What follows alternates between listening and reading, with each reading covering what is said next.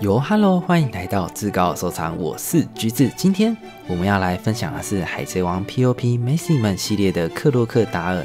这款当初的预购价为台币五千一百八十元。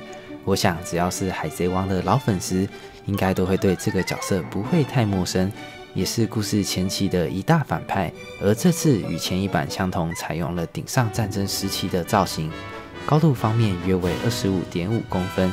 并配合着即将幻化成沙粒的特效，真的十分引人入胜。当然，在整体的涂装方面，展现出了 POP 的高水准。不过，我想如果有收这件作品的朋友，可能一开始会对头雕的肤色不太习惯。这里使用了芋头色来做阴影的效果，而在动画里，克洛克达尔脸部的肤色也不是使用一般的肤色就是了。另外，嘴巴上的雪茄用色也算是很特别。带有一点金属色的质感，远看还会有克洛克达尔咬着香肠的错觉呢。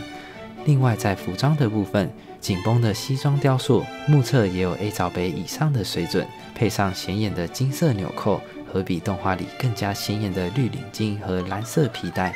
而手指上的宝石戒指采用了十色的配色。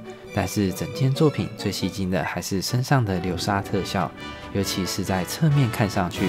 就像是身体已经消失了一半，还有腹部的侧边与手部都是已经沙化的状态。而仔细看这次的特效质感，并非使用了消光感，而是带有银色的金属光泽。尤其是从背面看上去，银色的光泽感会更加的明显。不知道是不是官方想要表现出阳光映照在沙地上所反射出来的质感呢？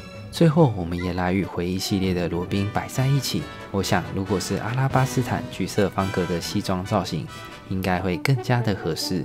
那今天的分享就到这里，希望大家会喜欢今天的影片。最后，也别忘了订阅加开启小铃铛哟。那我们下次见。